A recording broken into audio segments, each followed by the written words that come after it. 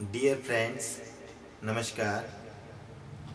आज मैं आप लोगों के सामने किशोर जी का गाया हुआ अजनबी तुम जाने पहचाने से लगते हो पेश कर रहा हूँ। और इस गाने को मैं सेक्सोफोन पर म्यूज़िक के साथ प्ले करने से पहले केवल सेक्सोफोन पर बजाऊँगा। आपको ज़रूर पसंद आएगा। धन्यवाद।